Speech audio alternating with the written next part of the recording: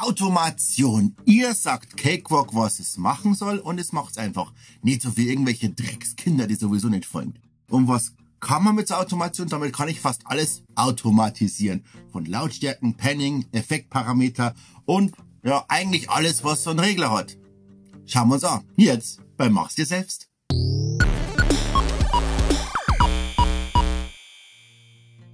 Yahoo! Hallo meine Lieben, der Andi von Töricht hier. Und fangen wir mit was ganz Einfachen an, und zwar mit Kanal abonnieren. Wir sind ja schon in der hässlichen Pulli-Woche mit über 100 Abonnenten. Schauen wir mal, ob wir mehr zusammenkriegen. Ich freue mich, für mich ist es eine Anerkennung meiner Arbeit, wenn man das so schön sagen kann. Und wie schaut jetzt zur Automation genau aus? Schauen wir uns an, an diesem Beispiel hier mit einer Lautstärke. Da habe ich jetzt diese Gitarre und ich möchte, dass die im Verlauf seine Lautstärke ändert.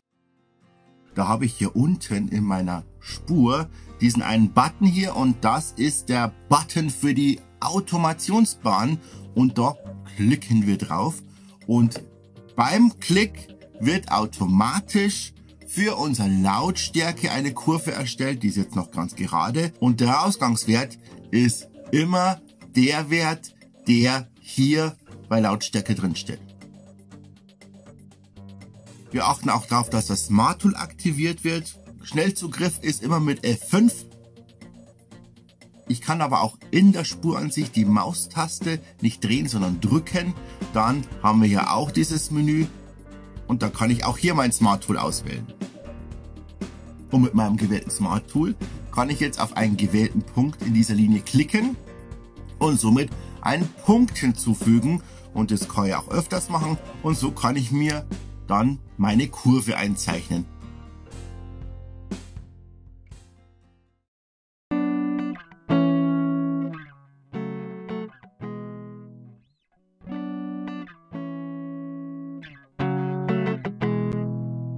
Die ist jetzt immer standardmäßig linear.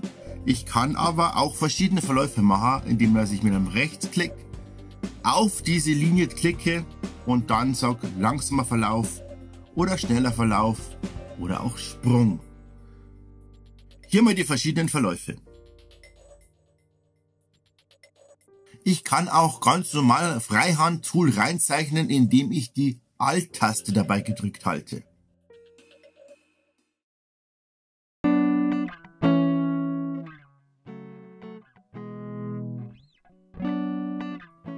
Ebenso mit aktivierten Smart Tool kann ich mit Klicken und Ziehen einen Bereich markieren und dann gehe ich auf den oberen Bereich und dann seht ihr auch hier ändert sich das wieder in so einem Pfeil um und jetzt kann ich mit Klicken und Ziehen nach oben oder unten hier ein Dip oder eben ein, das Gegenteil von Dip, was hermachen. Aber ich habe nicht nur das Smart Tool, mit dem ich arbeiten kann. Es verbirgt sich hinter dieser Auswahl auch dieser mit vier Wege Pfeil, das Move oder Verschieben Tool. Damit kann ich ganze Linien zum Beispiel verschieben. Das Edit lasst mal weg, damit können wir beim Automationsbahnzeichnen nichts anfangen. Aber danach haben wir Draw und das Draw ist dann im Endeffekt das gleiche wie Smart Tool mit gedrückter Alt-Taste. Nur, dass ich halt die Alt-Taste nicht dabei drücken muss.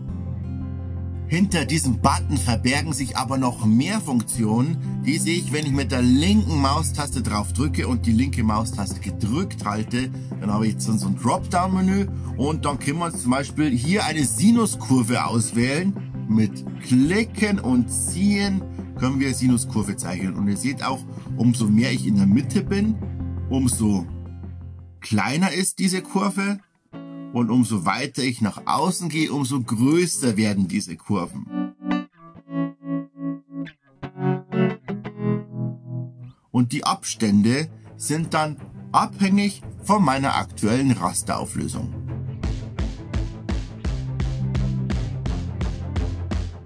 Möchte ich bestimmte Punkte löschen, dann klicke ich mit Rechtsklick drauf und wähle dann aus Knoten entfernen.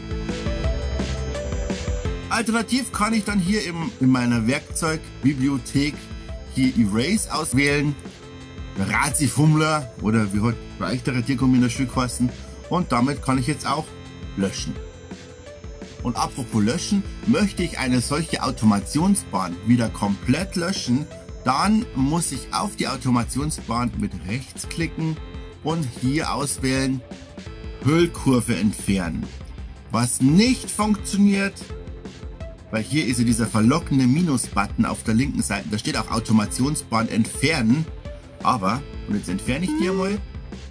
Und dann seht ihr, dann verschwindet die und die wird nur ausgeblendet. Die ist immer noch da. Mit diesem Button könnt ihr die Automationsbahn nur ausblenden und nicht löschen.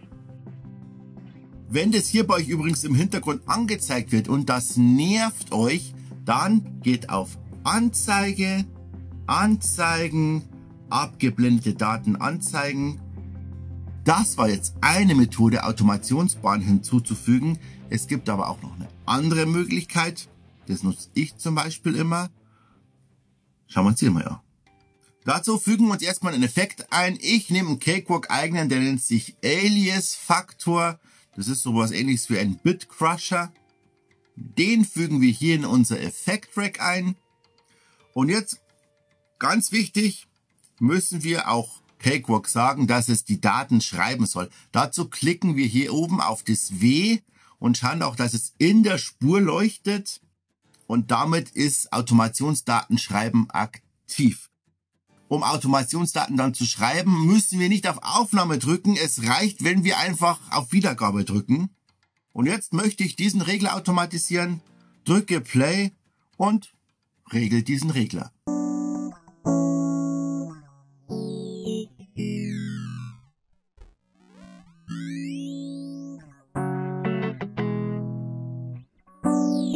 Und dann seht ihr, da unten werden jetzt auch diese Daten eingezeichnet und das war's schon. Ich kann auch mehrere Regler während der Wiedergabe automatisieren.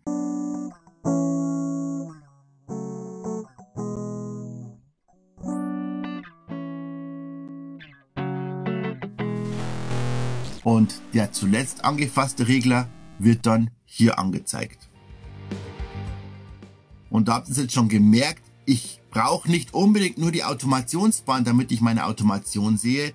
Die ist auch hier direkt in der Spuransicht und das kann ich hier wechseln. Wenn ich hier drauf klicke, das ist unser Datenfilter Dropdown Menü und dann kann ich wählen meine Clips oder ich kann auch hier bei Automation genau diesen Regler auswählen und praktisch ist für alle möglichen Regler, für die es bereits eine Automationsbank gibt, ist es in Fett geschrieben und so ein farbiger Punkt daneben und dann ist es zumindest schon mal übersichtlicher. Möchte ich jetzt mehrere Bahnen auf einmal bearbeiten, dann mache ich mir hier meine Automationsbahn wieder auf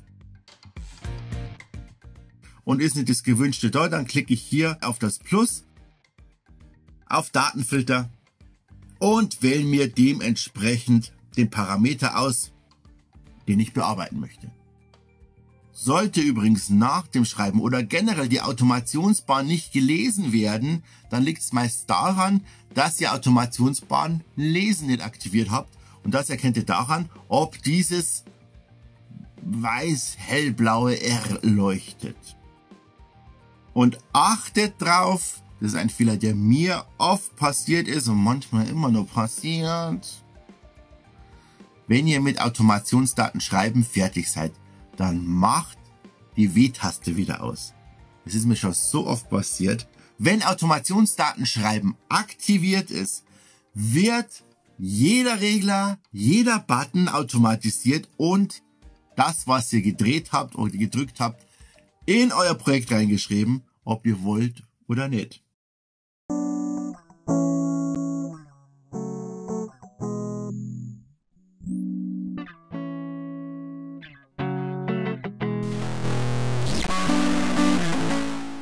Ich höre irgendwas im Loop und möchte mal einfach da die richtigen Einstellungen finden, vergess Write auszuschalten und lass das ein paar Minuten im Loop laufen und Trato und Trato und Trato und jeder Regler wird da quasi geschrieben. Und dann habe ich zum Schluss wunderschönes Chaos. Jetzt habt ihr wieder sehr viel auszuprobieren. Probiert mal die Automationsbahn aus. Schreibt mir bitte in die Kommentare, falls ihr euch noch andere Themen wünscht. wir sind jetzt dann schon langsam fertig mit unserem Einsteiger-Tutorial. Jetzt gibt es dann im nächsten Teil noch den Export, weil wir müssen ja die Daten wieder exportieren. Ich sag mal wieder vielen, vielen lieben Dank fürs Zusehen und bis dahin, Bussi aufs Bauchibelli und Servus. Hm. Der übrige Abmod-Kram, ihr wisst ja, wie es funktioniert. Ich freue mich auf euch.